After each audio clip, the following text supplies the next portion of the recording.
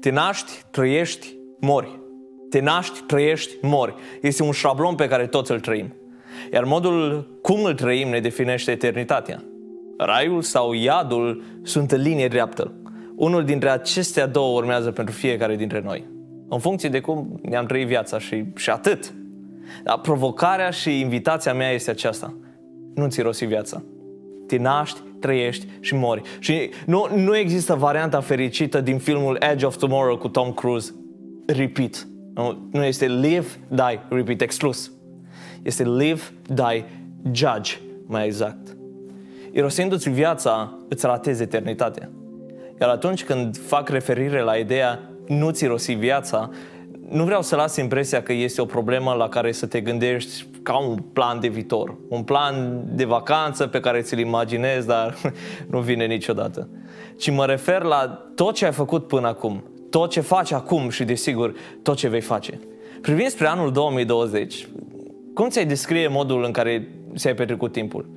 Care este refrenul care îți descrie anul care a trecut? Irosit, irosit, irosit, risipă, risipă, risipă?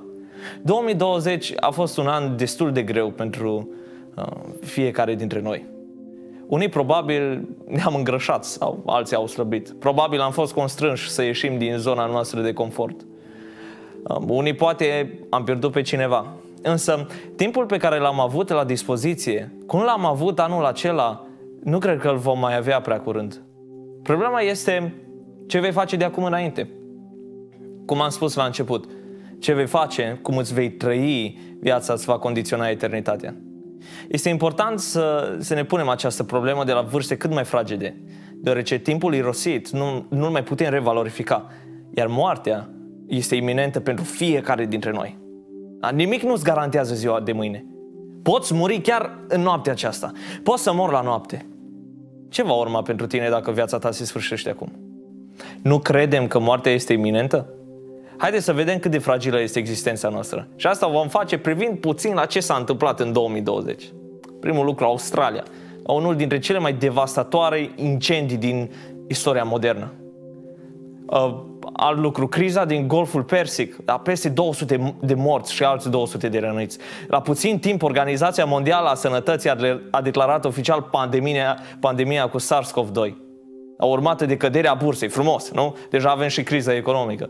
În această pandemie au murit până acum peste un milion de oameni din întreaga lume. Poi epidemie de Ebola în Africa, ciclon în India, în urma căruia 4 milioane de oameni au fost evacuați și peste 100 au murit. Nu? Beirut, revolte în India, război civil în Siria. A fost ei mai răi ca noi? Suntem noi mai buni ca ei? Hai să vedem cum răspunde Domnul Isus la aceste întrebări. În Evanghelia după Luca, capitolul 13, uh, de la versetul 1 la versetul 5, oamenii îl întreabă pe Isus cu privire la calamitățile vremii. Una dintre acestea a fost masacrul lui Pilat asupra unor oameni care se închinau. Iar Isus răspunde, în vremea aceea au venit unii și au istorisit lui Isus ce se întâmplase unor galil- galileeni, al căror sânge l-a amestecase Pilat cu jertfele lor. Credeți voi, le-a răspuns Isus, că acești galileeni au fost mai păcătoși decât toți ceilalți galileeni pentru că au pățit astfel? Eu vă spun, nu. Și dacă nu vă pocăiți, toți veți pieri la fel. Sau acei 18 inși pe care a căzut turnul din Siloam și i-au omorât, credeți că au fost mai păcătoși decât toți ceilalți oameni care locuiau în Ierusalim? Eu vă spun, nu, ci dacă nu vă pocăiți, toți veți pieri la fel. Dar Iisus putea plânge cu cei ce plâng, cum a și făcut-o în multe cazuri. Dar Biblia ne spune în Roman 12 cu 15, plângeți cu cei ce plâng. Dar, în general, după ce emoțiile sunt alinate, vin întrebările. Iar Isus nu rezolvă problemele cu sentimentalisme. Isus se, se ocupă de realitatea ultimă. El se ocupă de păcat, se ocupă de judecată de, și de mântuire. El spune, eu vă spun, dacă nu vă pocăiți, toți veți pieri la fel. Ce faci cu viața ta? Dacă Isus ar fi aici, ne spune următorul lucru. Viața cuiva nu stă în berșugul avuției lui. Nu trăiești pentru a acumula lucruri, iar aici intră orice. Dar nu trăiești pentru a acumula bani, nu trăiești pentru a acumula popularitate, nu trăiești pentru a acumula like-uri pe Facebook sau urmăritori pe Instagram. Iar dacă orizontul nostru nu trece mai departe de aceste lucruri, știți ce se întâmplă?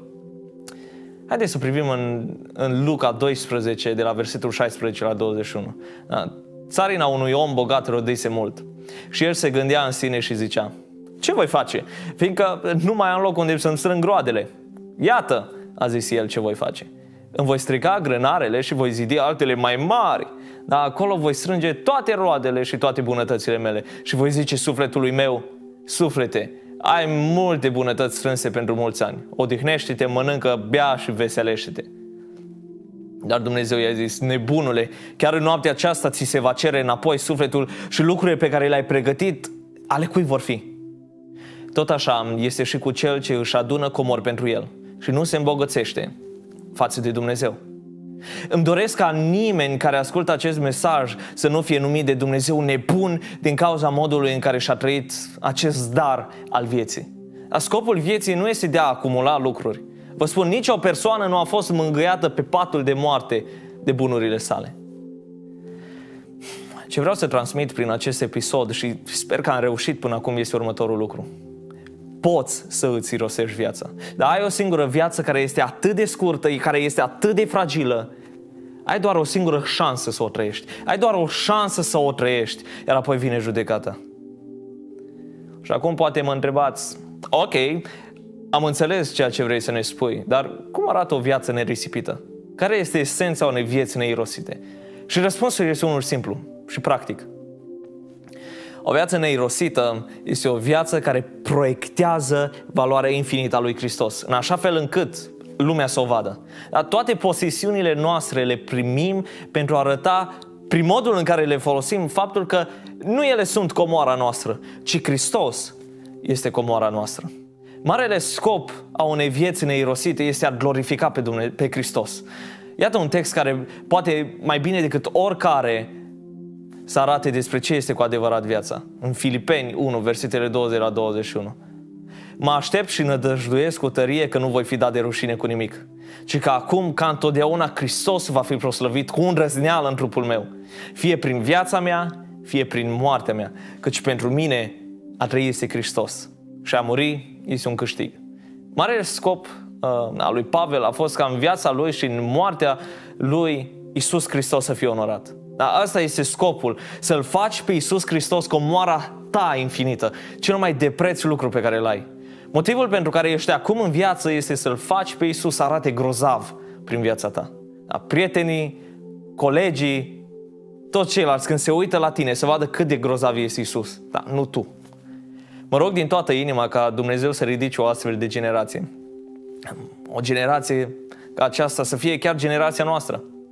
Și mă rog ca peste noi, peste generația noastră, Dumnezeu să nu privească spre viața ta și să o descrie ca fiind risipită.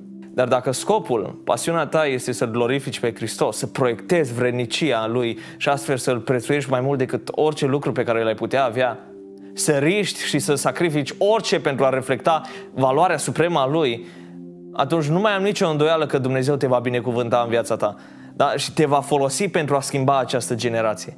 Iar în locurile în care tu te duci, la școală, la restaurant, în parc, gloria lui Dumnezeu va străluci prin tine, iar sute de oameni vor vedea lucrul acesta și se vor întoarce la Domnul. Mă rog ca peste viața noastră să fie scrise cuvintele această viață nu a fost irosită. Această viață nu a fost risipită. Această viață cu bucurie a proiectat, a reflectat gloria lui Hristos atât în viață cât și în moarte. Acesta este adevărul pur și simplu.